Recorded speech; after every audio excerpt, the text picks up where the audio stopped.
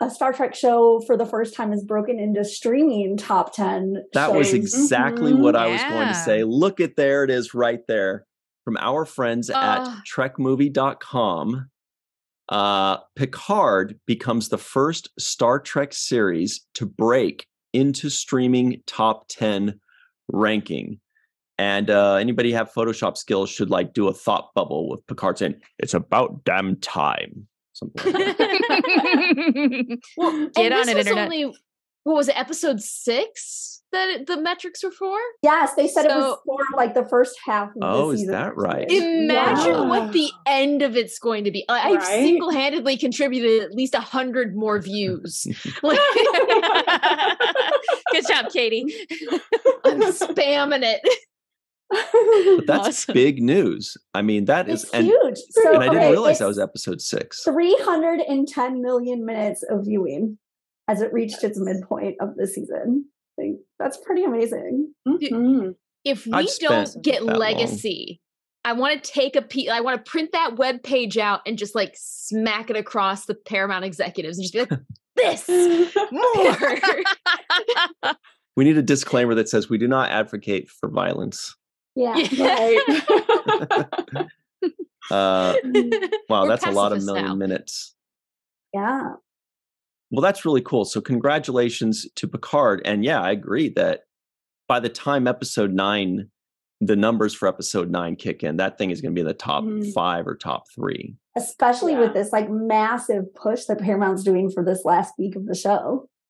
And it's be so really to nice see to it. see. Like, Amory, Mhm. you're lucky in New York. They I posted something that they're going to have something running in Times Square. Yeah. And it's like it's Oh, like that's a three minute walk from my apartment. So I'm gonna go like every night.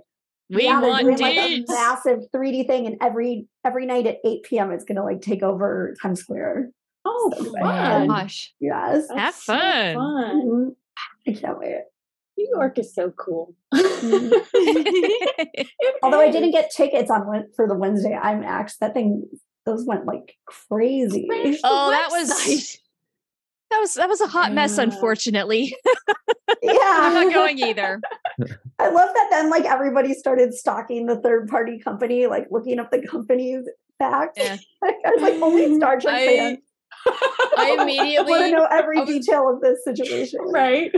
And they're I saw it's they're like- only down 0.01% of the time on its like logistics when you ask Google, like, is this a reliable? They weren't reliable ready for us. Yeah. Yeah. But for an Android, that is nearly an eternity, True. right? and for web servers, apparently. Right. Mm-hmm. Yeah. How cool was it that Walter loved First Contact? Because that was a quote from First Contact. Yeah, and that Walter cool. kept heaping love on William Shatner. So we fully expect Shatner to return that love on Twitter. I'm sure he's going to be like, he's going to say like, "Oh man, I just finished watching Star Trek and chill, and Walter Koenig at Walter Koenig, what a guy! Really love that dude." He's the cutest. He's so cute. Oh my gosh. Swoon. Uh, we do have a poll in the live chat, everybody, so you can stop banging on the door about it. Um, and it's about Picard being in the top That's ten. how I but know you're not a changeling. but that was yeah that was just Yeah. episode six so at some point when it maxes out you know whether the, the max is at episode nine or episode 10 do you think it will reach the top seven top five top three or number one let us know It should be number one, just so everybody can say that. Oh, well, yeah. Yeah. We are just number one. that Ryan can say that over and over again.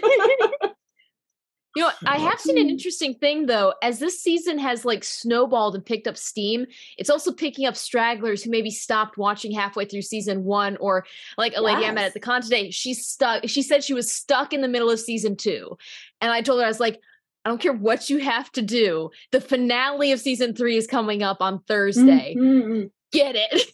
Be Like, ready. It seems like Yeah. it's dragging people in like a black hole of goodness. So many people are like coming back to Star Trek from like the 90s to watch it. I've been Mhm. really blown away by that.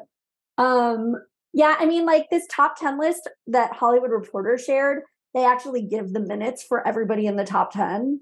And I mean, it is, they are like 100 million minutes behind number eight. But with that huge push, that Paramount's doing this last Oh week, yeah, it could easily change. Mhm. Wow. Oh, yeah. yeah. Plus, like, how many people are gonna rewatch it? And like, And I mean, that must be so good for Paramount streaming because, like, none of the other. I, I think this is only the second time a Paramount Plus um, show has broken the top ten. I'm assuming the first, the other Oh, one's really? Yellowstone or something. Wow. Yeah, so that's like a massive thing. That's a for good point. Well, what about uh Yellowstone? That was a pretty big one. That's- right? my guess I feel like that was number. I feel like that was number one uh recently, which My is also pretty big. Yeah. But is it on the air deal. now? I don't know. I haven't seen it. I don't know anything about I it. haven't either. I just know that it's a thing.